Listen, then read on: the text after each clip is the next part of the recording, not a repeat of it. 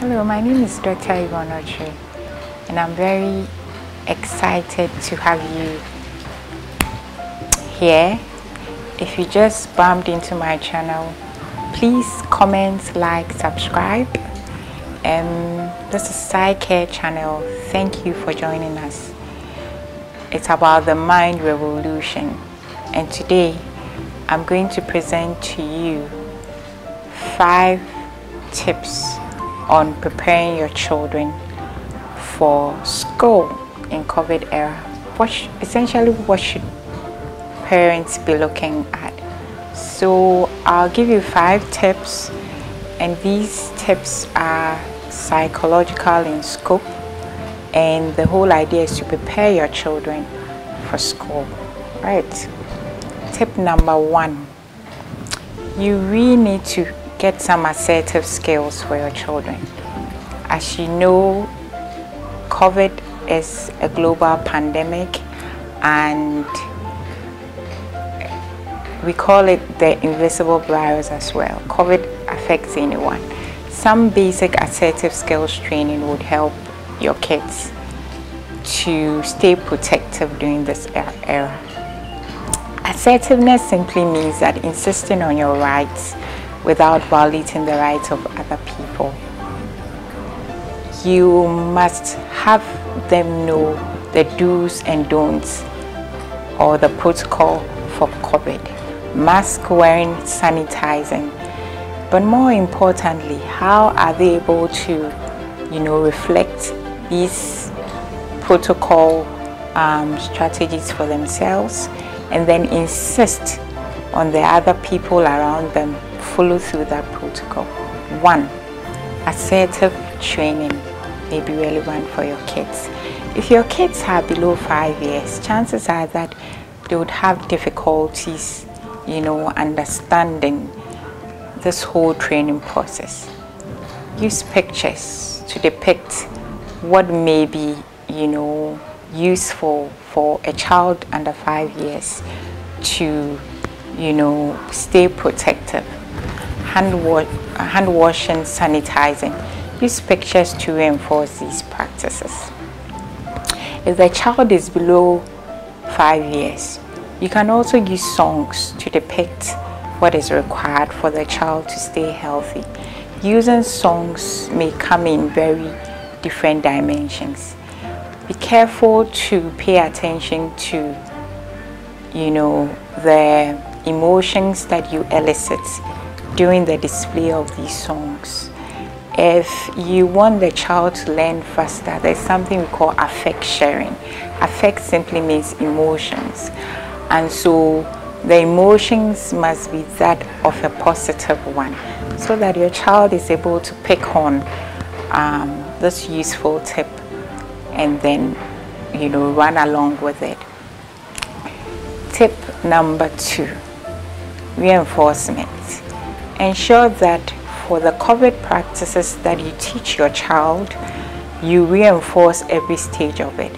For example, if you want to encourage washing hands, you know, repeatedly, anytime the child washes his or her hands, ensure that every stage of the required process is, you know, um, rewarded with a desired output. You know your child best and so you know what may work for the child and what may not. Pay attention to timing because timing is very important in communicating to children. Um, if that is carried out just after that behavior, it's likely that they'll be able to draw an association between the stimulus and the response, right? And so ensure that timing plays a key role for rewards, right? Um, uh, tip number three should be feedback. Ensure that you provide the appropriate feedback. Children learn better when feedback is specific and direct. Ensure that there are no inconsistencies so for example, if you'd want to encourage mask wearing for six hours, you know, ensure that there's either verbal feed, positive feedback. For example, Thomas, I like it when you stay protective or Alfred, I like it or I'm very excited that you are able to stay protective for yourself and the very people around you. Move beyond verbal to, you know, using stimulus or anything that you find around you to also reinforce the feedback.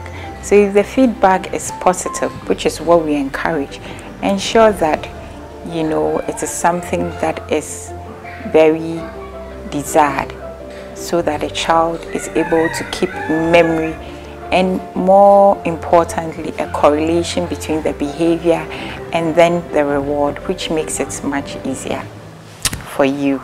Tip number four talks about having a COVID talk cure. And what the COVID talk cure talks about is simply goal-oriented talking. Okay, so you have two people or active participants here. One participant is a parent and the other part participant is the child or the children. And what we are saying here is that have the children talk about the experiences of the pandemic. Very, very important.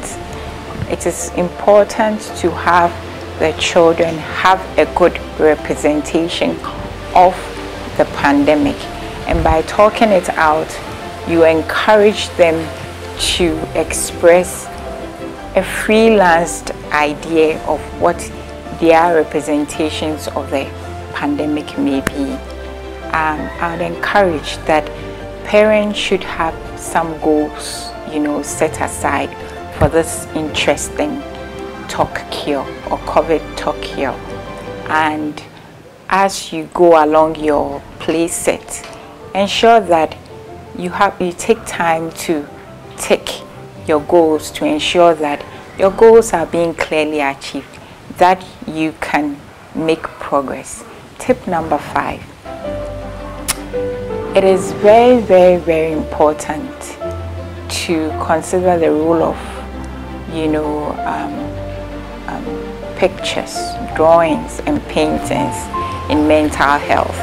We talk about creative arts, and that's one of the fundamental ways of keeping our children safe. Ensure that you give that free space for children to express their views about the pandemic give them some colors to explore their representation of the pandemic. And when they do, please pay attention to the colors used and pay attention to the shapes and then the representation of the ideas.